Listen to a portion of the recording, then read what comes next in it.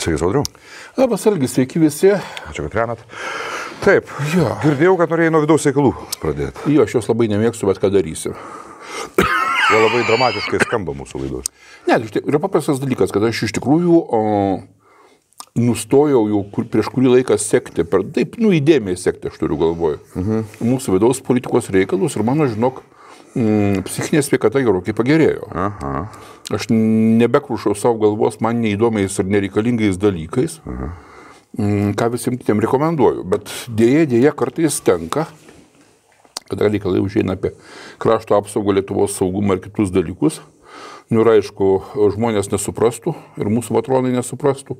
Jeigu mes nepašnekėtume apie tą, mm, sakykim, taip, tikrai didelį atgarsį sukėlusi Gabrieliaus Landsbergio pašnekėjimą, kad štai čia vat, įvyko kažkoks tai baisingi dalykai, mhm. grūna visa o, 30 metų saugumo sistema ir piramidė, kaip tiesiai įvardijo. nu ir ką pasakė jisai? Aš tiesiog o, pacituosiu, kad o, suvokti. Mhm. Aš negaliu pasakyti, kad mes esame šiandien pradėję diskusiją, kuri atlieptų realią geopolitinę padėtį už Lietuvos sienų.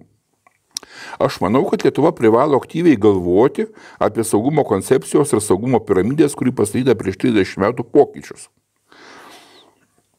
Palauk, tai uh, žiūrėk, kas pas mus yra Gabrielius Landsbergis? Užsienio reikalų ministras ir partijos. Ir partijos pirmininkas, valdančiosios partijos, kuri formuoja, fo- formuoja vyriausybę. Ir jisai iškelia klausimą, kad pas mus, matote, nėra diskusijos. Mhm. Žiūrėk, apie diskusiją, tvarkoj, aš sutinku, kad partijos pirmininkas gali iškelti diskusiją, jeigu, tarkim, niekas iki tol apie tai nešnekėjo. Mhm. O, nu gerai, tvarkoj, mes nekelkim, kaip sakoma, savo kaip povai odegožnė, kad mes apie tai išnekam jau ne du, ne tris ir ne keturis metus, tiek to mes esam, bet apskritai apie tai, kad karas Prašau, lapkričio 3. Lapkričio 3 sukako lygiai 5 metai mūsų Jo. kanalai. Tai galite pasveikinti. Ačiū. Bet žiūrėk, Algi, uh, apie tai, kad uh, karas Ukrainoje, apskritai, kad Ukraina uh, kovoja de facto už mus, mhm. kad uh, pralaimėjimas Ukrainos reikštų karą, uh, kuris ateis į Lietuvą. Galimai. Galimai. Bet, nu, bet Na, okei. su labai aukšta galimybė. Mhm. Šnekama, nu, kaip minimum du metus. Minimum du metus, aš turiu galvoje, čia jau visi apie tai šneka. Iki tol buvo, irgi buvo šnekama. Nu, visi normalų žmonės šneka. Nu, tai būtent, supranti.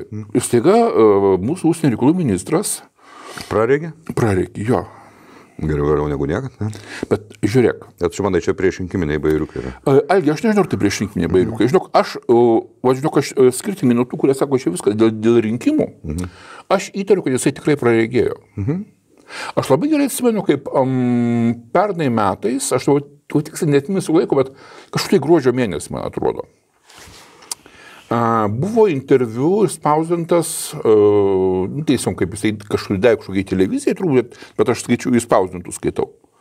Šitas prezidento patarėjas nacionaliniam saugumui Budrys, jeigu neklystu pavardė buvo. Ir jisai kalbėjo, kad vat, kitais metais, tai jisai būtent apie šiuos metus kalbėjo, dėl to aš sakau, kad e, praeitais metais buvo, nes, e, nes jis kalbėjo apie šiuos metus, žinai, kad kitais metais, va čia bus tas NATO viršūnių e, susitikimas panašiai, panašiai dėl Ukrainos. Nu, kontekstas, kontekstas invazija jau vyksta taip. Jo, tai yra viskas jau eina. Mhm. Jisai sako, kad, nu, kad yra trys variantai, žinai, kad pirma, kad a, Ukrainoje viskas sustingsta ties fronto linija, tuometinė, kuri iš esmės nuo dabartinės nelabai ir skiriasi, kad nu, Ukrainai pavyksta pasiekti proveržinę laimę ir, nu, kad, ir kad Ru- Rusija laimi. Žinai. Mhm. Tai yra trys variantai. Ir tada aš atsimenu, kokia buvo Gabrieliaus Landsbergo reakcija, kaip jis užsipuolė, kaip dirbsite prezidento patarėjas, viešai kalbėti apie variantą, kad Ukraina gali pralaimėti. Labas rytas, bet o, kiekvienas protingas o, tokio rango o, asmuo, tai yra kaip prezidento patarėjas nacionaliniam saugumui, jisai privalo vertinti tokius- visus variantus, įskaitant tuos pačius blogiausius. Ir jis, ne, ir jis neturi to slėpti nuo visuomenės. Vienareikšmiškai. Bet tada, supranti, Gabrieliui Landsbergui tai labai nepatiko. Kaip jisai drįsta kalbėti, kad yra variantas, kad pralaimės. ką iš labai nepatiko, ką jis trypė kojom, ten reikia. Nu, ne, nu, tai, tai, prašė ne, teismo tai, ne, tai jisai iš karto šoko, žinai, žiniasklaidą, supranti, kaip, kaip gali išnekėti, kad, pre, kad prezidento patarėjas neturi teisės taip šnekėti. Taip sakė, ne? Jo. Nu, tai jis be reikalo taip sakė, bet ar Nu, ne, tai taip teisingai, tai jam buvo pasakyta, kad tai be reikalo jisai nusiramino, žinai, bet, esmė, bet jo reakcija buvo tokia, žinai. Nu, neadekvati vadinkime, ne? Jo, tai yra, kada jam pasakė, tai yra variantai tokie, kad gali būti. Dabar jisai, praėjus 11 su kažkiek tai, nu, beveik metam, atranda tą patį. Tvarkoju, supranti, bet e, vėlgi, sakau, jisai ne tik užsienio reikalų ministras, jisai taip pat ir valdančiosios partijos pirmininkas. Ką daro valdančiosios partijos pirmininkas, kurio, kuris suformavo de facto vyriausybę, kurio yra premjerė, kurio yra finansų ministrė, kurio yra gyny, uh, krašto apsaugos ministras, tai yra jo ministrai visi. Tai jeigu jisai pamato, jog, uh, na, iš tikrųjų yra situacija katastrofiška, tokia kaip jisai, žinai, kad va čia, žinai, 4, 5, 6 metai, žinai, ir karas, ir kad griūna visa Euroatlantinė saugumo e, sistema, kaip jisai beveik tiesų tekstų leidžia suprasti, nes jis dar po to priešnekėjo, ne, ne vien to tam interviu dėl uh, Eltai. Mhm. Nu tai jisai, pirmas dalykas, jisai eina pas ministrę pirmininkę ir sako, gerbiam ministrą pirmininkę, mums reikia, pasima kartu ir finansų ministrę, pakviečia, mums reikia iš esmės peržiūrėti krašto apsaugos finansavimo klausimus. Nes kadangi karas nusimato išvelgimo ateityje, tai yra po šešių, galbūt dešimties metų, kaip pavyzdžiui rašo tie praeitų laidų aptarti mūsų Vokietijos saugumo ekspertai, mhm. tai mes dabar staigiai sėdam ir žiūrim. Štai Lietuva planuoja kurti diviziją. Divizijai kurti reikia tiek tai pinigų. Yra paskaičiuota, kad jeigu finansavimas 2,5 procentų, tai divizija atsiranda kažkur 30 ketvirtais, penktais metais, jeigu, palauk, aš tai pasitikslinsiu.